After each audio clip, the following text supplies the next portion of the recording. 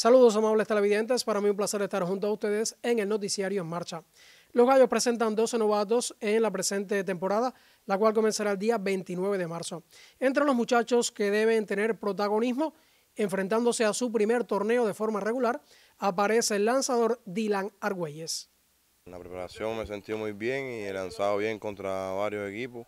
Eh, ahora en este último tope me sentí muy bien contra Camagüey y ya me están poniendo a hacer mi papel que es cerrador y en la parte intermedia y me estoy sintiendo muy bien en el entrenamiento y, con buenos lances y, todo bien. Háblame de esos lances. ¿Qué tira Dilian Argüelles?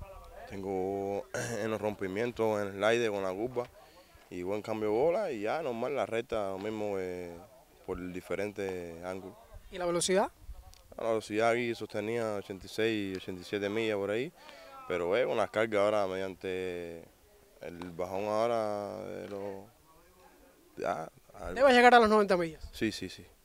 ¿Hasta qué punto te sientes presionado en tu primera serie nacional, siendo uno de los que debe ser protagonista dentro del picheo relevo?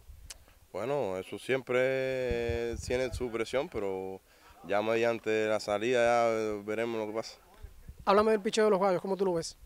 Bueno, por ahora hemos tenido buena preparación y y tenemos buen equipo también, un equipo joven y todo eso, pero debemos estar ahí en la pelea ahí.